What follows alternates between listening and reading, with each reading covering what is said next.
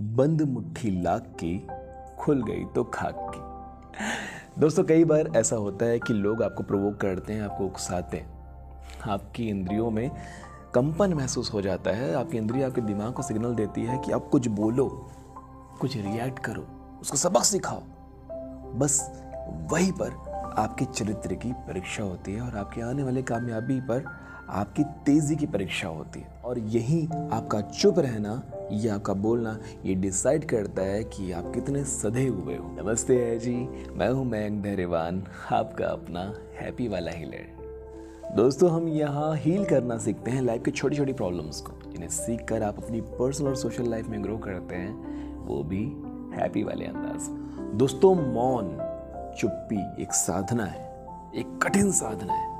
यहाँ पर आपको सिद्ध करना होता है कि आप कहाँ तक, कब तक बिना बोले अपना काम कर सकते हो, चुप रह करके सामने वाले को जवाब दे सकते हो।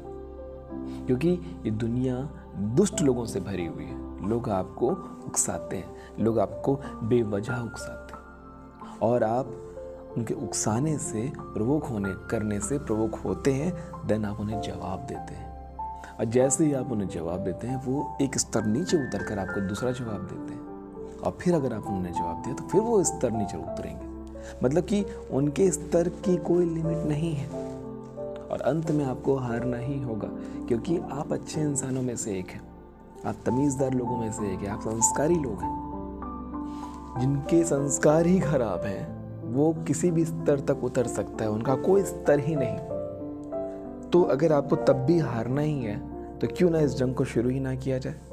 ये बिल्कुल वो वाला एटीट्यूड है कि तुम मुझे नहीं हरा सकते क्योंकि मैं जीतना चाहता ही नहीं। साइलेंस को मेंटेन करो, उनको प्रोवोक करने दो और अपने गोल्स पर फोकस करो। आपको उस समय अपना पूरा ध्यान उस चीज़ पर रखना चाहिए कि इस बंदे से बहस ना करके मैं क्या क्या चीज़ें बचा सकता हूँ। अपनी सबसे कीमती ऊर्जा बचा सकता हूँ, जिसे मैं अपनी पढ़ाई में, अपने गोल्स पे, अपने काम में, अपने धंधे में, अपने साधना में लगा सकता हूँ। ये लोग अपनी सारी ज़िंदगी का जो फ्रस्ट्रेशन है, वो कहीं ना कहीं ताने के फॉर्म में आप पर उतार रहे होते हैं।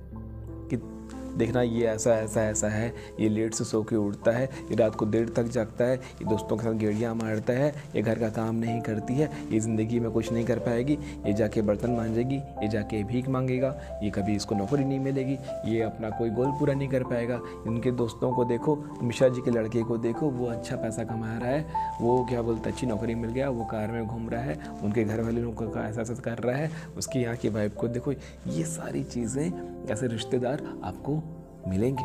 तकरीबन हर घर में होते हैं। और अगर आप उनसे अपने मुँह से बहस नहीं कर पा रहे हो तो आप मन में उनसे बहस कर रहे होते हो। आपके ब्रेन का राइट हेमस्फीयर और लेफ़्ट हेमस्फीयर दोनों आपस में बहस कर रहा होता है, क्योंकि वो आपके परिजन है, आप उन्हें कुछ बोल नहीं पा रहे हो। तो अंदर बहस छिड़ जाती है, अंदर एक जंग छिड़ जाती है। उस कंडीशन में भी हमें क्या करना है? हमें सबसे पहले तो ये सीखना है कि वो उनकी आदत है। कि बेशक वो बुरी बात कह रहे हैं, लेकिन है तो वो हमारे परिजन ही। तो क्या करना चाहिए? उनकी बातों को अनसुना करना सीखना होगा। हमें कान, आँख और दिमाग सबको क्लोज करना होगा। देखो, मैं आपको गुंगा होने नहीं बोल रहा हूँ।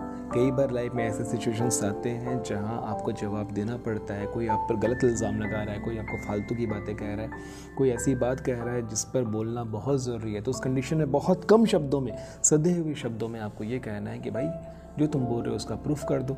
प्रूफ ला दो फिर तुम्हारी ज्योति और मेरा सर। ऐसे तो कोई भी इल्ज़ाम मैं तुम्हारे पर भी लगा सकता हूँ। तो जब नहीं बोलने वाला पर्सन अपना मुँह खोलता है तो उसकी बातों की वैल्यू होती है। कई बार ऐसी महफिल जमी होती है जहाँ लोग अनाप शनाप बातें कर रहे होते हैं, कुछ भी बोल रहे होते हैं, बहुत सारी बातें कर रहे होते हैं इंटेलेक्चुअल बातें कर रहे होते हैं, फालतू की बातें कर रहे होते हैं क्रिकेट की, राजनीति की, जो भी। जैसे अभी चंद्रयान की बातें चल रही थी, एक महफिल में मैं भी बैठा हुआ, चंद्रयान की बहुत सारी बातें चल रही थी। वहाँ पर मेरा जी, कई बार हुआ कि मैं अपनी तरफ़ से कुछ बोलूँ, अपनी तरफ़ से कुछ पॉइंट ऐड करूँ, अपनी तरफ़ से अपने नॉलेज को ऐड करूँ, ताकि मैं प्रूव कर सकूँ कि मैं भी जानता हूँ। मुझे भी पता है, मुझे भी इस चीज़ का नॉलेज है। ऐसे सिचुएशंस भी कई बार आपके पास आएँगे। लेकिन ये करने से आपको कुछ नहीं मिलेगा, कुछ भी नहीं मिलेगा। मैंने उसी महफिल में एक चीज़ देखा कि वो इज़्ज़त उस टाइम मुझे नहीं मिली, मुझे, मैं बताना चाहूँगा। वहाँ एक और ज्ञानी पर्सन बैठे हुए थे।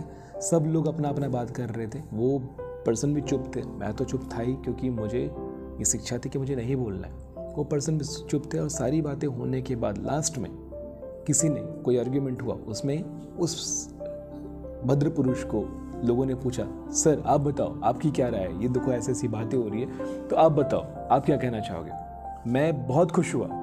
मैं ये सोच के बहुत खुश हुआ कि देखो, वो पर्सन सब कुछ जानते हैं, बहुत कुछ जानते हैं, लेकिन वो बीच में नहीं पढ़ रहे तो ये बाकी जो मूर्ख लोग हैं, वो उनसे ही सलाह ले रहे हैं। अब वो जो भी मुँह खोल के बोलेंगे, वो मानने होगा। अगर वो बहस का हिस्सा होते तो शायद अगला नंबर मेरा ही आता, उस ज्ञानी पुरुष में। वो मुझसे मुझसे पूछते। मेरे कहने का मतलब ये है कि जब आप ज़्यादा नहीं बोलते हैं, जब आप बकवास नहीं करते हैं, जब आप फालतू की बातें नहीं करते हैं तो आपकी बातों में एक महत्व आ जाता है, एक भार आ जाता है कि जो आप बोलेंगे, वो लोग सुनेंगे। और सबसे इम्पोर्टेंट बात यह है कि अपने कर्मों से आंसर देना सीखिए। आपको अपने बोल बोल कर बोल बोल कर नहीं बताना है कि आप क्या हो, कैसे हो, क्या कर रहे हो, कितना कर रहे हो, कहाँ तक कर रहे हो। आपको करके दिखाना है कि आपने क्या किया, कैसे किया, कहाँ तक किया।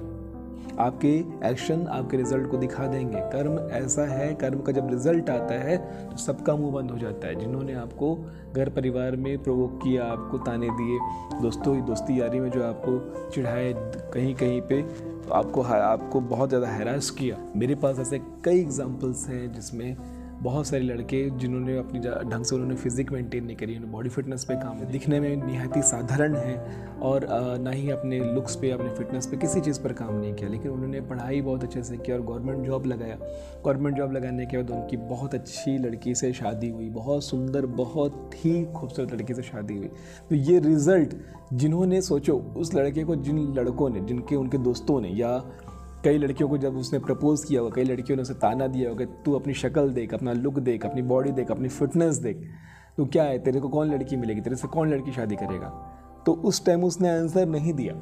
वो देने योग्य भी नहीं था। लेकिन जब उसने अपने लाइफ में कामयाबी लेकर आया, वो कोई बड़ा बिज़नेस कर लिया या एक गवर्नमेंट जॉब लगा लिया या वॉट जो भी उसने सक्सेसफुल हुआ तो अपने आप उसको एक बहुत ही खूबसूरत लड़की शादी करने के लिए उसके जीवन में आई और मिली। मेरे कहने का मतलब है, ये जवाब ऐसा है कि सभी का मुँह बंद हो गया होगा। तो ऐसा ही कुछ आपको भी करना है।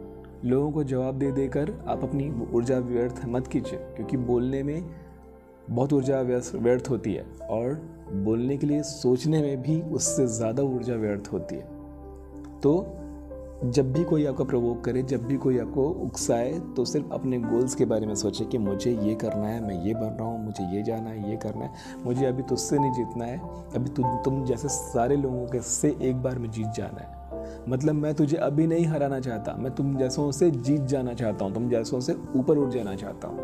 तो ये फ़िलासफ़ी लाइफ की सबसे अच्छे फ़िलासफ़ीज़ में से एक है कि मैं तुझे अभी जवाब नहीं दूँगा पर तुझे जवाब मिलेगा ज़रूर। मैं तुझे माफ़ नहीं कर रहा हूँ, पर मैं तुझे सज़ा भी नहीं देना चाहता कि सज़ा तुझे अपने आप मिल जाएगी, तेरे ही शब्दों से, तेरे ही बातों से, तेरे ही विचारों से तुझे अपने आप बाद में सज़ा मिल जाएगी।